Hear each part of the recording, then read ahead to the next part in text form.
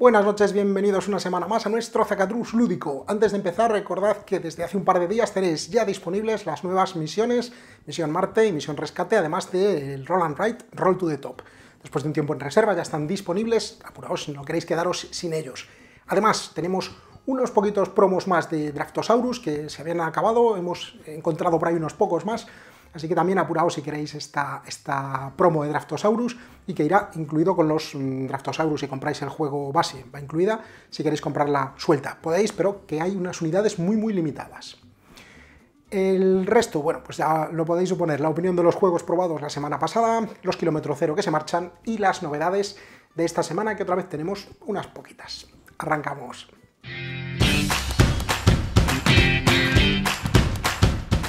Bueno, pues como esta semana no había muchas novedades, eh, hemos aprovechado para poner algunos juegos que estaban por ahí todavía perdidos, antiguos del verano. Ya poco a poco vamos nivelando el, número de novedades pendientes. Os cuento lo que tengo por aquí, empiezo por arriba. Wild Space, un juego muy sencillo de entender para jugar, digamos, cualquier, en cualquier momento, se lo podéis sacar a todo el mundo sin, sin mucho problema y que nos pone a los mandos de unas naves con animales, con unas ilustraciones muy llamativas, muy chulas, a mí me han gustado, y que realmente es una colección de sets, pero con un turno muy, muy, muy concreto de 10 usos de las naves. Tenemos 5 naves, se pueden usar dos veces cada una, y esto hará que desde el minuto 1 tengamos que pensar muy bien cómo aprovechar nuestras naves para optimizarlas y de esta manera poder comprar cartas y tener los máximos puntos disponibles. Un juego que nos hará pensar un montón con unas reglas muy sencillas y como digo que me parece muy fácil de, sacar a, mesa, con unas ilustraciones llamativas y unas mecánicas de estas eh, fáciles de entender, difíciles de dominar, porque hay que pensar muy bien qué hacer en cada, en cada momento. Además, la interacción entre jugadores es casi mínima, con lo cual a mí eso ya sabéis que me gusta, sé que a muchos no. Así que tenéis este Wild Space. Stay Cool, este es uno de estos juegos party que realmente nos puede volver locos mm, o sacarnos de nuestras casillas porque tenemos que hacer un montón de cosas a la vez. Me, ha parecido muy original el tema de las tres rondas, de manera que cada vez sea más complicada, sobre todo la última, que me parece extremadamente difícil controlar el reloj de cabeza. Creedme que jugar a esto os da una sensación de agobio enorme, pero os echaréis unas risas. Creo que es un juego fácil de sacar a mesa, no apto para todo el mundo, no por dificultad, sino porque hay gente que se estresa mucho y quizá lo pase mal, pero sabiendo lo que es, me parece una buena opción para que tengáis en un armario y se lo saquéis a aquellos amigos que eh, sabéis que se lo podéis sacar, porque realmente nos volará la cabeza y nos hará pues, pasar un mal rato a la vez de un buen rato. Por este lado, V. Rosenberg vuelve al ataque con, el Tetris con New York Zoo, un juego que me ha recordado mucho a Oso Park de Phil eh, Harding, Walker Harding, o Harding Walker, siempre lo digo al revés. Bueno, pues me ha recordado mucho Oso Park, pero aquí en vez de hacer un parque temático de osos, hacemos un zoológico con, distinto tipo de animales. Realmente es similar a este, con alguna cosilla muy típica de V. Rosenberg, como lo de mover el elefante, que yo os decía que era un barco en el vídeo de, abriendo el, juego de la semana pasada, el Zacatrus lúdico de la semana pasada, pues no, no es un barco, es un elefante, pues muy típico de V esto de mover para poder escoger solamente un, bloque pequeño de, de losetas, y que creo que el problema más grande de este New York Zoo es que eh, puede parecer muy lioso leer las normas. Cuando lees el reglamento te quedas con la sensación de vaya rollo, no entiendo nada. Pero luego es muy muy sencillito de jugar y se pilla muy rápido. Hay que tener muy en cuenta la regla clave o las dos reglas claves de máximo dos animales y que cada vez que se coloca uno se puede colocar otro. Hay que tener en cuenta cómo se reproducen los animales para optimizar el número de animales en nuestro zoo. Y realmente es un juego muy bonito puesto en mesa con los meeples de los animalitos, que también he dicho que había focas y eran suricatas. Bueno, ¿qué le vamos a hacer? Es lo que tiene abrir los juegos así medio en directo.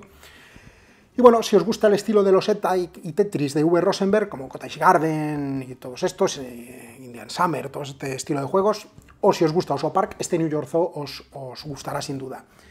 Comparado con este último, que me parece el más similar, Oso Park, si tenemos Oso Park, ¿nos aporta algo New York Zoo? En mi opinión, no. Creo que son muy, muy similares y se pisan entre ellos. Si os gusta más por temática, pues adelante con New York Zoo. Si, os llamaba la atención Oso Park y queréis probar este, pues estupendo. Pero quiero decir, no, no considero que uno sea mejor que otro. Simplemente me parecen tan similares que se llegan a pisar. Por lo demás, me parece recomendable, escala bien, tiene un modo solitario para poder ponernos a prueba y es, como digo, muy bonito y muy sencillito para sacárselo también a todo el mundo sin mucho problema. Y otro party como Stay Cool, no tan, ah, que no nos crea tanta ansiedad, que es ese Secretos entre amigos. Típico party de preguntas y respuestas donde tenemos que saber si conocemos bien a nuestros amigos. Respondiendo a preguntas hay que intentar mm, decidir o deducir más bien en qué bando está cada uno de nuestros amigos, o al menos encontrar a un amigo que esté en nuestro mismo bando, eh, azul o amarillo, en base a las respuestas de las preguntas. Un juego muy sencillo de entender, muy sencillo de jugar, muy rápido para todos los públicos llega hasta 10 jugadores, de manera que podéis sacarlo así después de una cena multitudinaria sin mucho problema. Y bueno, os lo pasaréis bien, es, al final es lo que es, tampoco, es, tampoco tiene nada fuera de lo normal de este estilo de juegos de preguntas y respuestas. Y en la fila de abajo, bueno, pues aquí tenemos juegos un poco más, más grandes. Por un lado, este K2 Big Box realmente no es nada nuevo, es K2, el juego clásico de, escalar el K2 con, la gestión de los, de los, alpinistas, pero este Big Box nos incluye el juego base, dos expansiones grandes y las losetas promocionales de avalancha. De manera que si sois fans de K2, esta Big Box os irá estupendo porque tenéis todo en uno y obviamente pues sale mejor de precio que comprarlo por separado. Si ya tenéis K2 el juego base, pues esto os aportará las expansiones, ahí ya tenéis que sopesar vosotros si os interesa más o menos. A mí K2 es un juego que temáticamente no me llama absolutamente nada, pero sus mecánicas sí me agradan, me parecen interesantes en la gestión de, mano, gestión de cartas y poder mover a los alpinistas. Y las expansiones nos aportan solo un poquito más de variedad. No son expansiones que cambien las normas, sino nos varían un poquito el juego, un tablero nuevo, y nos permiten pues mm, darle otro saborcillo a K2. Así que bueno, un juego que tiene mucho tiempo, que realmente ha funcionado siempre muy bien y que ahora vuelve en esta edición Big Box para los muy fans del, alpinismo o del juego K2. Masqueoka también nos trae, por este era de Masqueoka, pues aquí tenemos otro más, y hay alguno más. Nos trae este Subatomic, el juego de, esta línea educativa que están sacando, yo creo que es el más grande de los que tienen. Me parece un juego muy interesante, es un deck building, un juego de construcción de mazos. Yo no soy muy amigo de las construcciones de mazos, pero esta funciona muy bien. Tiene detalles así interesantes como el hecho de poder guardar cartas y sobre todo tiene una carga eh, docente, digamos, lectiva que es muy interesante. Es decir, sí que realmente es un juego educativo que nos enseñará química, cómo funcionan los enlaces, los átomos, los elementos. Me parece ideal para sacárselo a chavales, es sencillo de entender y realmente pasándonoslo bien nos permitirá pues aprender cosas, igual que los otros que teníamos más pequeñitos, virulence, peptide o ion o incluso citosis, pues este juego subatomic también tiene esa carga importante de enseñanza que me parece muy interesante para aprender ciencias. Me parece un gran juego y sus mecánicas funcionan muy bien respecto a la temática. No es que esté pegado, la, temática esté pegada ahí para intentar forzarla, creo que va bien. Y tiene unas normas suficientemente sencillas como para que se lo podáis sacar a cualquier chaval sin mucho, sin mucho problemas. Eso sí, a un niño de 6 años no, obviamente, pero eh, cualquier, cualquier adolescente podrá jugar sin ningún problema y funciona muy bien. Y continuando con más que Oca, tenemos aquí otro que también se nos había quedado perdido, este Oceans, Oceans, un juego que tiene dos eh, versiones, la normal y la deluxe, os he enseñado la deluxe, pero básicamente es igual. Esta versión deluxe tiene más cartas promo, tiene fundas decoradas que vienen incluidas, y tiene los pececitos en plástico, pero sobre todo tiene el modo 5 y 6 jugadores, la expansión para 5 y 6. Del resto, eh, las reglas no cambian. Oceans es un juego de gestión de mano también, pues donde tendremos que saber cuándo evolucionar nuestras especies, cuándo mover pececitos y cuándo comernos a los demás en un océano cambiante que evoluciona y que además tiene un montón de depredadores. Un juego de gestión que tiene el mismo problema que, nos encontramos con New York Zoo, que tiene unas instrucciones que al leerlas nos echan un poquito para atrás, da la impresión de que es un juego súper complejo, pese a que son instrucciones cortas, pero realmente no. Después de una ronda o dos se entiende perfectamente, la segunda partida ya la tenéis dominada. Dominadas las reglas, que luego ya el juego es otra cosa. Tiene algunas mm, variantes, tiene una variante más fácil, digamos, la variante Recife, para aprender a jugar, que no está mal, y escala también bien según el número de jugadores porque cambiarán los, el número de peces, así que sin problema. En medio, Cairn, un juego muy curioso para dos jugadores que nos trae Maldito Games y que nos pone a los mandos de unas eh, tribus en las que realmente tendremos que intentar mover. Es un juego muy puzzle, muy táctico, muy de movimiento, donde tendremos que intentar movernos en el momento correcto, hacer unas secuencias concretas, me ha recordado muy de lejos al mítico Tascalar, pero en versión más reducida, porque aquí solamente habrá que poner tres en raya, tres en línea, con, nuestros, con nuestras figuras para poder ir construyendo pues, monolitos y activándolos para obtener poderes especiales. Un juego muy muy sesudo, muy sencillo de entender, que también creo que se lo podéis sacar a todo el mundo, mm, en menos de media hora está jugado y desde luego ideal para dos jugadores, es, lo suyo. y que nos hará pensar un montón cómo optimizar nuestros movimientos, nuestras acciones en cada, en cada momento. Si os van estos juegos así puzzle de, pensar y queréis un juego para dos, Kair me parece una eh, opción buenísima y además es muy muy bonito puesto en la mesa, entra mucho por la vista. Sonar Family es una versión más reducida en cuanto a jugadores de Capitán Sonar, más o menos con el mismo funcionamiento, pero solo con el capitán y el operador de radio. Un juego que puede ser muy divertido y a la vez un caos tremendo si lo jugáis en tiempo real. Tendremos que estar muy atentos. Tiene más peso, más carga de peso el operador de radio para intentar adivinar dónde está, o más bien deducir dónde está el submarino enemigo, que el capitán, que por su parte solo tendrá que moverse y a veces usar la energía con acciones especiales. Me parece un juego divertido, ya lo era Capitán Sonar, pero Capitán Sonar tenía el problema de que lo suyo eran 8 jugadores y entonces pues era difícil de sacar. Este lo han reducido, va de 2 a 4, aunque lo suyo es jugar 4, realmente no nos engañemos, es un juego para 4 y es más sencillo jugar 4 que jugar 8, obviamente. Funciona muy bien, es divertido y nos hará pensar, deducir y lo, lo, pasaréis, lo pasaréis bien. A veces sí que os podréis sentir como los mandos del submarino. El Resplandor, un juego que nos mete en el Hotel Overlook de manera cooperativa y tendremos que aguantar ahí, sobrevivir ahí cuatro años, o perdón, cuatro meses, o cinco si queréis un modo más difícil. Inicialmente el juego es totalmente cooperativo, pero tendremos que pensar bien cómo optimizar las fichas de moral que vamos ganando. A veces habrá que dejarle alguna a los demás, que para eso es cooperativo, y intentar vencer estas visiones del resplandor. Y digo que es cooperativo porque en el momento en que un guardia muera, se acaba la partida y todos perdemos. Además tiene un modo asimétrico donde hay un jugador que es el corrompido, esto podría llegar hasta 5 meses y después del cuarto mes no se descubre, y este corrompido ganará en solitario si consigue matar a alguno de los, de los guardianes. La pega de este juego, la pega más grande del juego es que el, el número de jugadores va de 3 a 5, empezar en 3 para mí siempre es un hándicap. Y luego decir que la temática del resplandor me parece un poco, aquí sí que me parece que está un poco pegada, no es que le quede mal, le queda bien, pero es como unas mecánicas muy concretas y puesto el Hotel Overlook y las cartas de resplandor como podría haber sido cualquier otra cosa. A mí personalmente no me ha dado la sensación de estar metido en la novela del resplandor, ni, en las películas, eh, pero eh, tampoco es que le, siente mal, funciona bien con su, con su temática puesta, pues le da un toquecillo temático, pero vamos, que no, no inmersivo diría yo. Por lo demás, el juego me, parece interesante, dice que es para 17 años o más, pero es solamente por ese toque de terror que tiene. Y recordad que los jugadores podrán atacarse entre ellos no voluntariamente, involuntariamente, que para eso es cooperativo, y nos permitirá pues, ponernos a prueba a ver si aguantamos. A veces eh, tiene un toque de tienta la suerte, a ver si aguantamos con las fichas que tenemos. Y tiene un toque que no sé hasta qué punto me parece correcto, que es que las fichas que más valen a la larga son las fichas de whisky. Cuanto más whisky bebemos, más aguantamos. Igual esto de incitar a la bebida no está bien. Y por último, yo creo que el juego más bonito de todos los que tengo en la mesa, Papillón, un juego de colocación de losetas, muy sencillo de entender, pero que tiene una sobreproducción, hay que decirla, eso sí, en cartón, quiero decir, no es que sea una sobreproducción cara de plástico, con florecitas, mariposas, unas pincitas para colocar las mariposas. Realmente es un juego de colocación de losetas con fichas de puntuación bonitas, pero funciona bien. Ya os he dicho más de una ocasión que no soy muy amigo de la colocación de losetas. Este funciona igual de bien que todos los demás. Hay que hacer secciones de flores de colores que nos permitirá puntuar con nuestras mariposas. Y al final el que tenga más puntos en cada sección se lleva el gato al agua, o la mariposa al, al zoo, no sé muy bien cómo decirlo. Pero es un juego, como digo, bonito, sencillísimo de entender, se lo podéis sacar también a todo el mundo y que puede funcionar bastante, bastante bien y sobre todo muy muy llamativo. Y listo, esta semana tenemos cosas eh, que son, digamos, para todos los públicos. El juego más duro, por así decir, o más profundo será quizá este K2 y tampoco mucho. Todo lo demás es apto para que se lo saquéis a todo el mundo sin, mucho problema. Y, y, bueno, cualquiera de ellos pues es una buena opción para, al menos para probarlo, porque seguro que os encajará alguno. Pues nada más, vamos a ver qué se marcha. Pues esta semana se van un montón de cosas y alguna seguro que muy deseada, alguna joya antigua de estas que sacamos a veces. Arriba, que luego me olvido.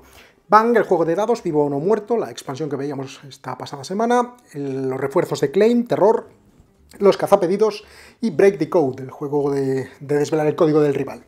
Y en la parte de abajo, por aquí, Strike, el juego de dados, la expansión de, de Builders and Biomes de Minecraft, Farmers Market, Reikholt, un, clasicazo, pues aquí tenéis un kilómetro cero. Adastra, siempre he dicho que es uno de los mejores juegos de exploración espacial que conozco. Un juego de programación de acciones espectacular. Pues aquí tenéis un kilómetro cero. Mysterium, otro que también tiene un una buena legión de, fans. Aquí tenéis un kilómetro cero. Tuki, este juego de construir estructuras también muy llamativo. Las Vegas Royal, la nueva edición del clásico Las Vegas. Oso Park, precisamente hablábamos hace un momento de, Oso Park con este New York Zoo, pues aquí tenéis Oso Park de Phil Walker Harding, por si queréis probarlo, aquí tenéis un kilómetro cero. Village Attacks, un juego que lleva agotado un montón de tiempo, pues hemos encontrado en el armario un kilómetro cero que tendréis disponible junto con su expansión, que está aquí debajo, Horrores de las Arenas, que nos permite completar la campaña. El nuevo Magic Maze, Magic Maze on Mars, también disponible, El Jardín de Alicia y también, supongo que muy deseado porque se ha agotado, aunque esperamos que lleguen más en breve, este Villainius eh, Week to the Core, la expansión, o más bien juego independiente de Villainius. Todo esto en unos días, sellado, uno de cada, si queréis alguno, apuraos, nada más, vamos a ver las novedades de esta semana. Pues aquí tengo las novedades esta semana. Juegos, por un lado, expansiones, rol y, antes de, nada de esto, un viejo conocido que vuelve prácticamente idéntico, este mítico Gran Hotel Austin. Esto es un verdadero juegazo, lo fue en su momento, se agotó y ahora lo ha vuelto a sacar, en esta ocasión Maldito Games, ha cambiado de editorial, un juego de 2 a 4 jugadores, 90 minutos y 12 años. Si no lo conocéis, esto es un estupendo juego de gestión con dados, que nos mete en la gestión de un hotel. No ha cambiado nada, no, lo vamos a abrir, no os voy a enseñar nada porque ya es un viejo conocido, pero vaya, quería, sí quería hacer mención de que volvemos a tenerlo disponible después de muchísimo tiempo y sé que mucha gente lo estaba deseando. Rol, tenemos por aquí Aventuras en la Tierra Media, el dosel del Bosque Negro y Pantalla del Maestro del Saber, que viene así en una funda de apertura y cierre y nos dice que es un conjunto de cosas para el Maestro del Saber, que esta semana, por supuesto, os lo enseñamos para Aventuras en la Tierra Media. Y dos suplementos más, por un lado Starfinder, este archivo de alienígenas, encuentros y avistamientos, dice aquí detrás, para, esta, para este juego de rol espacial, Starfinder, y también para el anillo único, un nuevo suplemento que nos meterá, supongo que es ambientación, pero lo veremos esta semana, nos meterá en Bri. Y podremos, mm, bueno, ver un poco qué hay en Bri, además del clásico y mítico Pony Pisador. Expansiones. Empieza una nueva campaña de Arkham Horror LCG, la conspiración de Innsmouth. Aquí tenéis su primera caja, que como viene siendo habitual, trae dos episodios, el 1 y el 2, dos escenarios. Y a partir de aquí, pues tendremos, supongo, seis blisters más para hacer ocho escenarios en total en una conspiración en la ciudad fronteriza de Arkham o vecina de Arkham, que es Innsmouth. Una expansión de un juego que, eso sí, lleva mucho tiempo agotado, a ver si vuelve pronto, Arquitectos del Reino del Oeste, pero si tenemos una expansión nueva, Era de los Artesanos. Es una pena que salgan expansiones sin tener disponible el juego base, pero vaya, pues no nos queda otra más que esperar. Una nueva expansión para este juego que tiene las mismas ilustraciones, lógicamente así del mismo estilo, y que ya os contaremos qué aporta. Y hablando de expansiones que salen sin el juego base, aquí tenemos otra, este Civilization, un nuevo amanecer de Sid Meier, la versión nueva del clásico Civilization, Terra Incógnita, una expansión que necesita el juego base y que tampoco tenemos disponible de momento, a ver si vuelve pronto. Ya os contaré qué, nos aporta esta, nueva expansión. Debo decir que viene en una de estas odiosas cajas finitas, como las de la, expansión de Arkham que os acabo de enseñar, estas que se abren por arriba. Vale, no me gustan nada estas cajas y la verdad es que nunca la había visto en este tamaño. Este tamaño, que es el típico 30x30, siempre suele venir con caja normal, de la clásica. Estas cajas no me gustan nada porque son muy finitas, incómodas de manejar y también incómodas de poner y quitar lo que tiene dentro. Pero bueno, las expansiones a veces sí que vienen así, pues las veremos. Y en cuanto a juegos, juegos nuevos. Uno que no es tan nuevo, es nuevo, pero vaya, Detective temporada 1. ¿Os acordáis de Detective, un juego de investigación moderno? Teníamos un juego base con cinco casos que estaban entrelazados, empezando por el reloj de oro. Y luego teníamos un par de expansiones para Detective, una expansión que nos metía en los años 80 en Los Ángeles, y luego una cajita que había salido firmada por Rob Daviau con un caso más. Bueno, pues ahora aparece esta caja de Detective temporada 1 que no es una expansión, es un juego completo. Viene a ser una versión nueva de Detective, una reimplementación de Detective, y dice aquí que tiene eh, casos diferentes, va de 1 a 5 jugadores, y dice tres casos, tres casos diferentes, tres escenarios diferentes, nos dice que está basado en Detective, pero que es un juego completamente independiente. En cuanto a los números habituales de 1 a 5 jugadores, es totalmente cooperativo, 90 a 120 minutos y 12 años. Ya os contaremos si ha cambiado algo en relación a cómo funciona Detective, que es un juego que, por cierto, me encanta. Robin Hood, que siempre es recurrente, de vez en cuando vuelve. Aquí tenemos Robin de Loxley, la leyenda de Sherwood, un juego así en caja pequeñita, para dos jugadores nada más, el típico juego para dos, 8 años o más y 15-30 minutitos en una caja, como veis, bastante contenida de Delirium Games. Y otra caja también pequeña, este Influentia de, de Ludonova, tres o cuatro jugadores, número curioso, 45 minutos y 10 años o más en un juego que por aquí detrás veo que tiene fichas de rata y algunas cartas con ilustraciones que me han llamado bastante la atención, positivamente, por supuesto. Ya os contaré qué tal. Otro que vuelve de vez en cuando, Carcassonne, en esta ocasión Amazonas. tenemos varios juegos de Carcassonne así alrededor del, mundo que tienen un sello propio y es una versión de Carcassonne, en este caso ambientada en, en, el Amazonas. Estas suelen ser ediciones limitadas, como aquella que había de Safari o incluso la de Star Wars, que las tenemos un tiempo y luego ya no se vuelven a, sacar. Así que bueno, aquí tenéis una más, Amazonas, mm, mm, estoy especulando, no sé si, si volverá o no volverá cuando se agote, pero vaya, de momento está disponible, por supuesto como cualquier carcasón, de 2 a 5, 8 años o más, 35 minutos y unas ilustraciones bonitas. Y los dos más grandes, Ecos, Primer Continente, un juego enorme que nos trae Gen X, 14 años o más, de 45 a 75 minutos y de 2 a 6 jugadores, un juego que parece así muy naturista, muy bonito en ilustraciones por lo que veo aquí detrás, con los setas, con animales y con un montón de meeples y unas cartas parece cuadradas, pero por supuesto lo veremos en un momento. Y el último de la semana, este Pictures que nos trae más que Oca, dice de 3 a 5 jugadores, 30 minutos y 8 años o más, en un juego que tiene, al menos aquí parece, unos componentes un poco extraños. También lo veremos, a ver qué tal este juego. Pues nada más, esas son las novedades de esta semana. El, rol es verdad que lo de rol ya era de la semana anterior, que se nos había quedado. Hay alguna más que no nos ha llegado, pero poquita cosa. La semana próxima os las enseñamos. Si queréis ver lo que tienen las cajas, lo vemos ahora. Y si no, como siempre, gracias por estar ahí. Que tengáis una buena semana y nos vemos la semana que viene.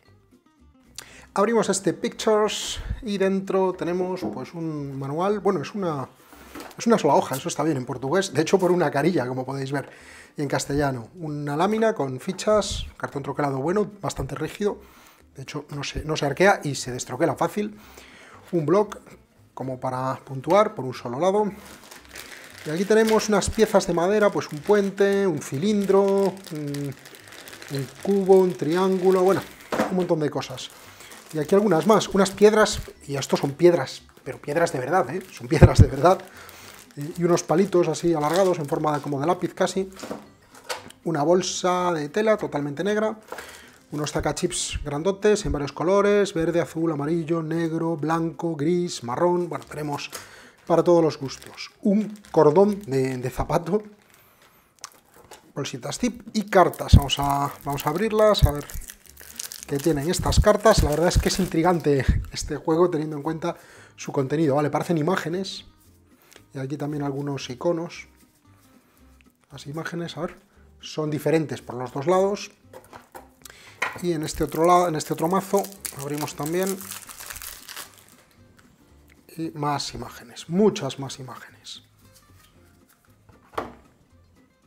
Abrimos Ecos, primer continente, y dentro encontramos pues un manual así en el tamaño completo de la caja, con carátula, con ilustraciones, no es muy extenso, unos tableros que tienen como enganches de puzzle, parece un tablero de puntuación, losetas en cartón troquelado, aquí veis azul, esto es como agua o cielo, no sabría decir, de hecho hay un, buen montón, bueno, se destroquelan, ya veis, solas, se destroquelan fácil.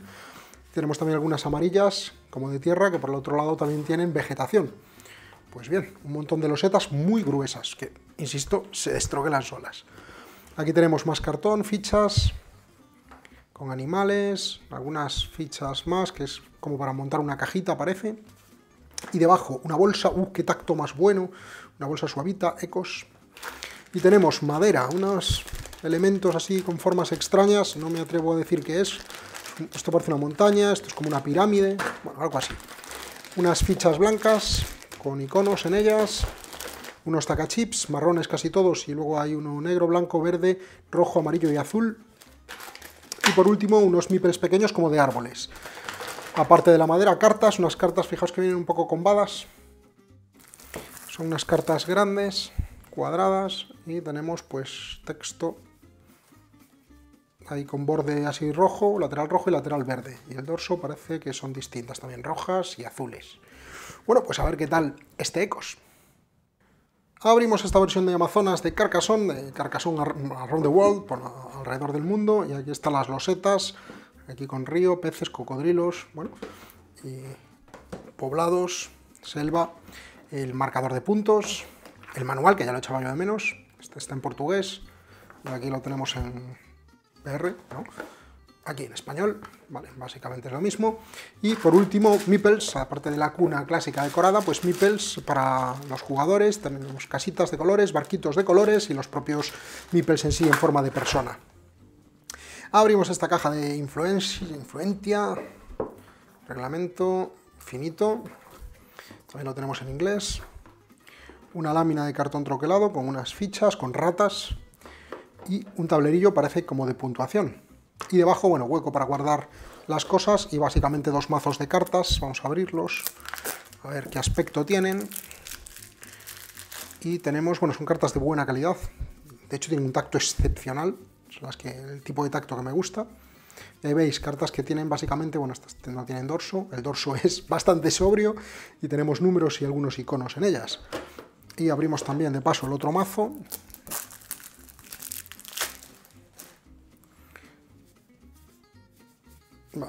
Del estilo. Estas tienen un nombre abajo.